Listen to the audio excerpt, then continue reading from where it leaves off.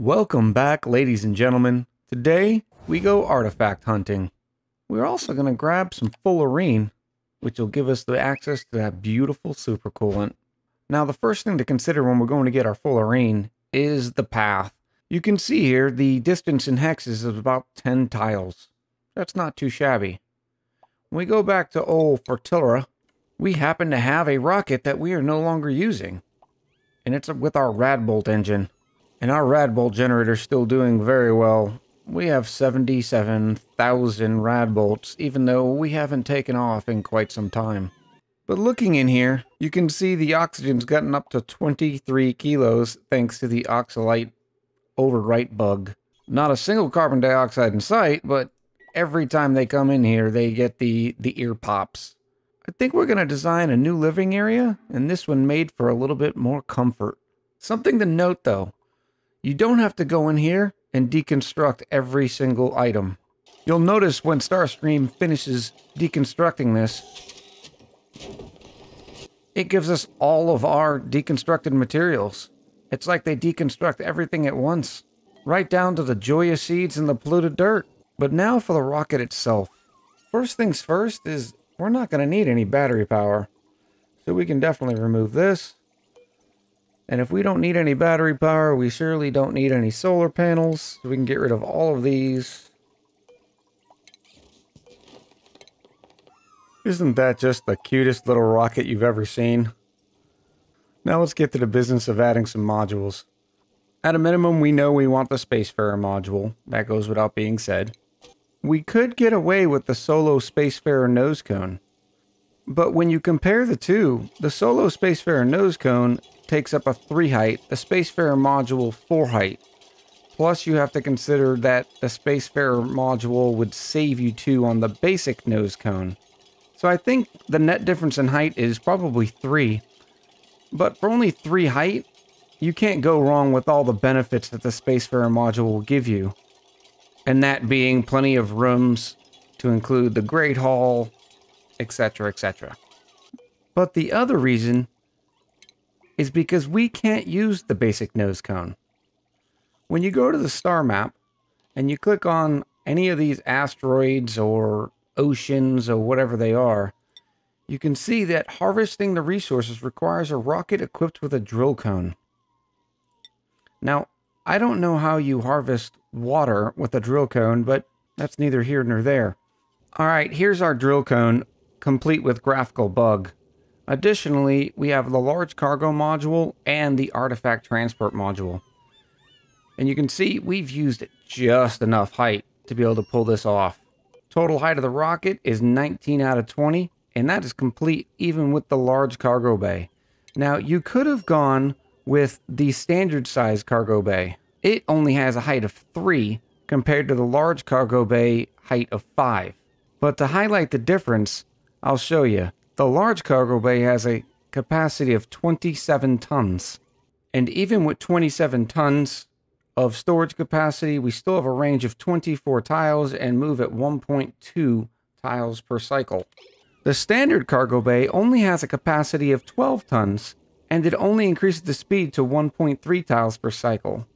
Now we could add two cargo bays and give us 24 tons, but we'd still be short of the 27 tons that we would get otherwise. Just to show the example, we'll add another cargo bay and we can watch this rocket speed continue to go down because of the increased rocket burden. And there it is. Now the rocket speed is only 1.1 tiles per cycle, and we still don't even get as much storage with a total capacity of 24 tons. And that's because the total module burden of two cargo bays is 8, whereas the total module burden for the large cargo bay is only 6. So by far, if you have the space, you go large cargo bay. While the dupes continue to build that, I wanted to show you an addition I made. I think it was in the background of last episode. You may have been able to see it. And we now have ye old diamond press. And it's set up beautifully under this radbolt generator, which is collecting 222 radbolts per cycle. And we have it just consistently on. What happens is the radbolt generator, as soon as it gets 50 rad bolts, shoots the rad bolts into the diamond press. The dupe comes over here, makes some diamond out of refined carbon, and away they go. And this is the reason why we need more diamond. We are making mincemeat out of this igneous rock, really taking the heat out of it. You can see here our right side spike has gone all the way down and now it's moving over to the left, as is with our left side spike. And you can see by looking at the steam turbines, that is an absolute ton of power we are generating. One day, once we've taken all the heat out of the magma biome, we'll be relying on just the volcanoes. But for now, we're doing just fine with these geothermal spikes. When I go to last cycle's daily report, you can see the steam turbines by themselves generated 3,900 kilojoules of power. That's more than half of our power generation. What's even more incredible, even though we generated 7,200 kilojoules of power, we used almost 7,140 kilojoules of power for a net difference of only 111. Now, this power wasted stat is a little bit different. This has to do with a battery runoff or overproduction in the colony. And the tooltip gives you a good example down here. You can see by the charge loss on the smart batteries was three and a half kilojoules itself. Solar panels, when everything else is running, they're not really needed. So that's just complete overproduction. In other news, we added another dupe. Welcome to the Colony Moon Racer. Moon Racer enjoys rocketry and suit wearing. She also has a bonus to decorating, but we don't really care about that too much. But the great thing about Moonracer is she also had Quick Learner. This Quick Learner will allow her to learn her skills even quicker. With the addition of Moonracer, we're now at 22 total dupes. That means we have two more duplicates to recruit. So we're going to make them good. Now the cargo module acts kind of like the rest of the storage modules do across the colony. When you select it, it gives you the option of what you want to be able to put in it.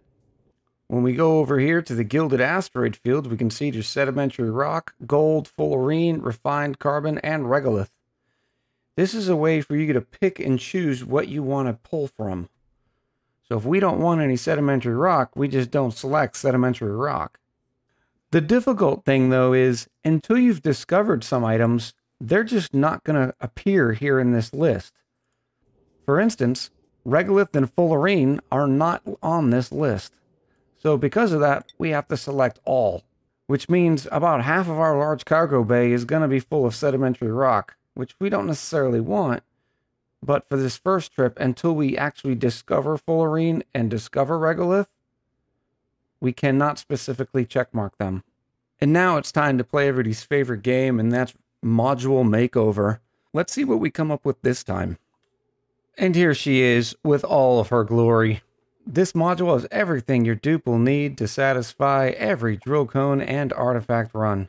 We have nine Joyas in here, providing a good amount of decor, and that's right, we have the Great Hall, we have the bedroom, we have the latrine. We even have separate storage bins for dirt and for oxylite. And then we have a refrigerator not being charged because we have berry sludge in it. And berry sludge, well, as we know, it doesn't matter what you do to it, it's never going off. Right now we have it set on 10 kilos, which normally is 40,000 calories. Uh, I feel like somebody came in here and ate some berry sludge. I mean, even the mess table has table salt on it. Just a wonderful module. But with that, I think we can load this bad boy up. Let's go ahead and select Elita as our resident pilot extraordinaire. With her loaded, we just got to set the destination. We are going to this Gilded Asteroid field right here. Pre-flight launch sequence has began. I love how the engines start to preheat. Even the drill cone starting to spin. Go get some drill cone. Why doesn't Elon Musk's rocket have a drill cone? Hmm. You can see after a launch that because of all the radiation that was dumped back into this nuclear waste, the radbolt generator collects around 6,000 rad bolts per cycle. So apparently the drill cone also has a drill arm? I don't know. Some notes. You can see the drill cone starts with one ton of diamond. I'm assuming this is the sort of diamond coated blades that it's using to cut into the debris. I don't know. But you can look here, we've already collected the artifact. It's already in the artifact container. And we have 21 tons of cargo capacity remaining. And over here in the notes, it also tells you it's extracting resources at a rate of 7.5 kilos per second, which, based on the cargo capacity remaining, means we have about five cycles remaining before the drill cone will finish doing its business and collecting all these ingredients.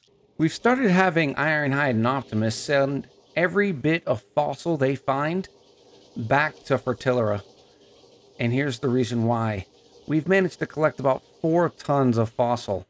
When you come down here to the rock crusher, you can make lime out of fossil. Now, it's not a great ratio. 100 kilos of fossil will give you 5 kilos of lime and 95 kilos of sedimentary rock. But either way, it's more lime. And more lime means more steel. So this might make a difference in your decision on the large cargo capacity or the regular cargo capacity cargo container you can see here, we're done drilling. And we're not done drilling because we're full. We're actually done drilling because we ran out of diamond for the drill cone. I don't believe there's a way to carry more diamond. I think the most you can have is the one ton. It probably also depends on what you're drilling out. I'm not really sure. Either way, we got 20 tons for a one ton worth of diamond. So we'll have to keep playing with this a little bit and seeing what the math turns out to be. Is it always one ton of diamond for 20 tons of cargo? I don't know. Either way, it's time to send Elita home. Change the destination, and away she goes. Something else we plan on keeping an eye on. At the Gilded Asteroid Field, it says the total mass remaining is 34.2 tons. I'm wondering if this mass sort of recovers, or once you mine everything, it's all gone. So Elita has returned from her faithful mission with the drill cone. We ended up with 5 tons of gold and 2 tons of fullerene. We also got 2 tons of refined carbon and regolith and 9 tons of sedimentary rock. Now the question becomes, how do we get the stuff out of it? You can see by just by unchecking it, it doesn't do anything. It doesn't drop it from the large cargo bay. And that's where the solid rocket port unloader comes into play. You can find it in the shipping menu and it just attaches to the side of your rocket. Once you have the solid rocket port unloader finished, then you just connect it to some shipping rails. For simplicity, we just put a conveyor chute on it so it'll dump everything we want right here. Then we just select what we want to unload. And in this case, we'll just say everything. And here it all comes. Be forewarned though, it's not the fastest machine in the world. It's dropping it off 20 kilos at a time. Over on Smelio, we've made a couple of changes. First, we tapped into this natural gas geyser, put a steel gas pump into it, then pumped it all out. It still has 26 cycles until it becomes active again, but it'll go a long way to helping feed the colony's power requirements. And we're taking that natural gas and going directly into the natural gas generators. The second item is we're about to leave Ironhide here alone. I know, it's a little sad because Ironhide and Optimus have been together since the beginning. But to make his time here a little bit easier, we've given Ironhide an Atmosuit dock. And at first, I was trying to figure out, okay, let me see, I can filter the oxygen from the polluted oxygen and then put it into the Atmosuit dock. That'll require a little bit more power, but it'll be okay. And then I realized, hold on. Over on Fertilira, our oxygen generation is made to keep 30 dupes alive. So we just siphoned a pipe right off of the supply teleporter output. And then on Fertilira, we've just connected the input with one of our primary oxygen lines. Work smarter, not harder, right? So we've assigned Ironhide this cot. We've left him 187 cycles worth of berry sludge. We can send more berry sludge if we need, not a big deal. He's also got the benefit of a great hall here and a barracks. We'll probably upgrade this to a comfy bed soon, but it's not a big deal. So as soon as Optimus comes back to go to bed, we'll end up launching Uranus 1 back to Fertilira. I'm going to do some thinking in the background. I'm not pleased with this setup. The idea of dupes living out of the rocket and then working on the planetoid sounds amazing at first. but there's a lot of flaws in it. First, you really have to use a full gas pump. These mini gas pumps just do not fill the Atmosuit docks quick enough. But with the full gas pump, it requires real power generation. And unless you have a lot of solar panels, the power outlet fitting with the three solar panels attached is not quite cutting it. You could put a dupe wheel in here, but then you'd have to sacrifice something like the water cooler, and then you wouldn't have the Great Hall. There's a lot of give and takes that we could make, and I'm going to do some more thinking on it because I really like the idea of dupes living in the rocket and then working no matter where they need to work, no matter how the planetoid is, whether it's full of magma or it's just a swamp. The other sort of problems are a little weirder. When the dupes go looking for food out on Smelial, when it's time to eat, they'll grab anything that's laying around, whether that be fish fillet or bog buckets, and then they'll bring it inside the rocket. And that's why we've got a bunch of swamp chard hearts sitting here. Occasionally they're rot, and then they'll produce polluted oxygen, just causing more problems. And this is despite the fact that they have all the berry sludge they need sitting in this refrigerator. But the issue is, they don't know what's inside the rocket when they're sitting on the planetoid. As another example, you can see here that we have a warning of beds.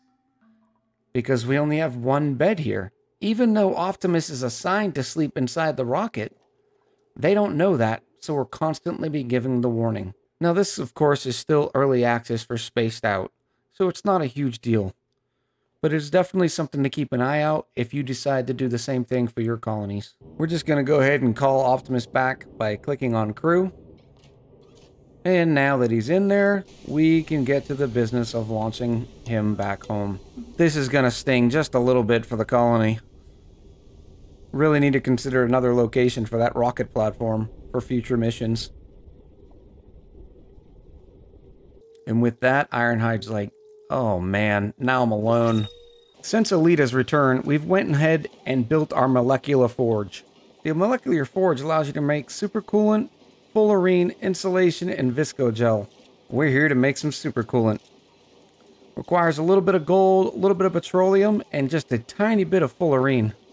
We'll start off by making 10, and of course we connected it with an auto sweeper. Other dupes will have to come by and drop off the petroleum and gold, you can see on the molecular forge, there's no way to pass in the petroleum via liquid pipe, so it's got to be done manually. Something to be warned about though, the molecular forge takes 1600 watts, so we've just tied it in directly, just like we have with our metal refineries and our glass forge. I almost forgot our artifact, and here it is, the small obelisk. We just click remove, and it falls all the way down here. Which is, that's not a big deal though.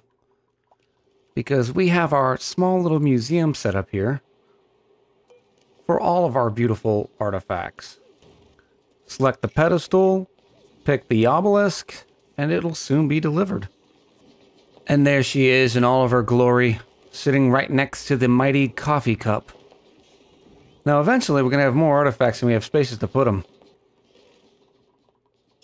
Maybe we'll throw them into some dupe condos. And there it is 100 kilos of super coolant. Absolutely beautiful. The only thing that would be better is if we were making visco gel. But for that, we need iso resin. And that will come in another episode. I hope you enjoyed this episode. I know I did. Talk to you soon.